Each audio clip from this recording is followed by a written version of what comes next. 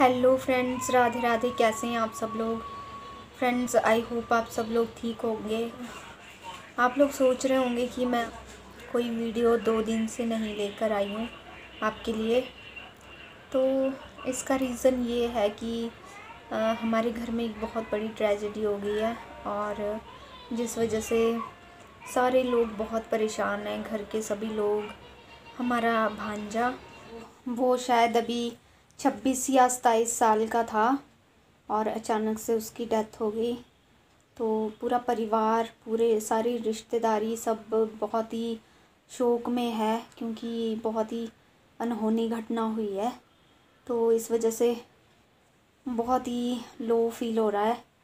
BP low हो गया है बहुत ज़्यादा टेंशन में और उसकी मम्मी का तो रो रो के बुरा हाल है। वो तो देखा नहीं जाता वहाँ का हाल, उसकी मम्मी उसकी दादी, उसके पापा, भाई सबको बहुत ही एकदम से धक्का लगा है। और हम लोगों को खुद भी बहुत धक्का लगा है। बहुत बहुत दर्दनाक घटना है, क्या करें? और मेरा तो टेंशन में बीपी लो हो गया है। थकान सी महसूस हो रही है।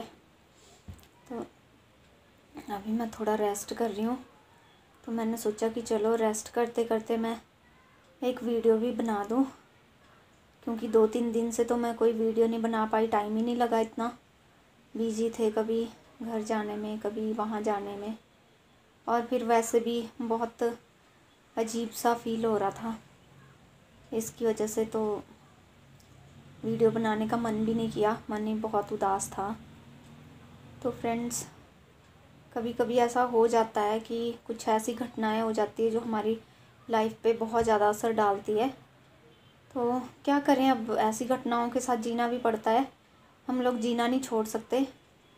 जाने वाले जाते भी रहेंगे, आने वाले आते भी रहेंगे। और जो जी रहे हैं, उनको जीना भी पड़ेगा।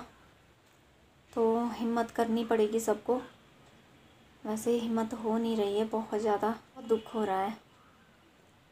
पर क्या करें? हिम्मत तो करनी पड़ेगी, उठना भी पड़ेगा, काम भी करना पड़ेगा। बिना काम के भी कुछ हो नहीं सकता। तो चलो, देखते हैं अब जो काम करने का है वो तो करना ही पड़ेगा आगे। और जो चला गया है उसको तो वापस ला नहीं सकते अब। उसके लिए तो कुछ नहीं कर सकते शौक मना सकते हैं। और बाकी कुछ नहीं कर सकते। पर दुख बहुत ज़्यादा हो रहा है। और किसी काम के लिए मन नहीं है, कोई काम करने का मन नहीं कर रहा है। और बस आज की वीडियो इतनी है, क्योंकि कहने को तो बहुत कुछ है, पर मैं कह नहीं पा रही हूँ।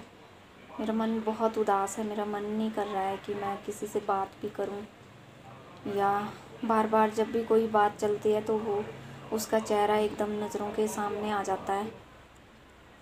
अभी कल फिर से वहाँ जाना है तो शायद कल भी मैं कोई वीडियो नहीं बना पाऊँगी। ज़्यादा बीपी लो है, इसलिए मैं रेस्ट कर रही हूँ अभी थोड़ी देर। थोड़ी सी चाय बनाई अपने लिए मैंने, और फिर थोड़ी देर रेस्ट कर लेती हूँ थोड़ा सा तो शायद तबीयत थोड़ी ठीक हो जाए। फिर कल के लिए फिर से जाने की तैयारी है। तो फ्रेंड्स अभी के लिए इतना ही।